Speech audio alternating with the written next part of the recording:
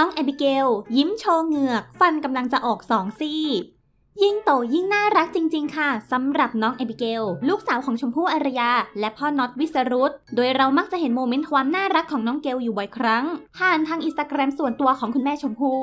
บอกเลยค่ะว่าน้องเกลนั้น ยิ่งนับวัน ยิ่งน่ารักน่าเอ็นดู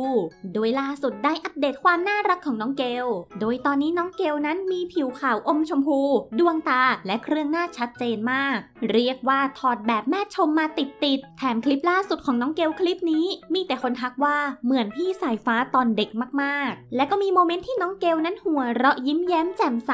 โชว์ให้เห็นเหงือกที่ฟันใกล้จะขึ้นสองซี่แล้วด้วยค่ะ เรียกว่าใครเห็นก็ต้องใจละลายแน่นอนค่ะ น่ารักน่าเอ็นดูสุดๆ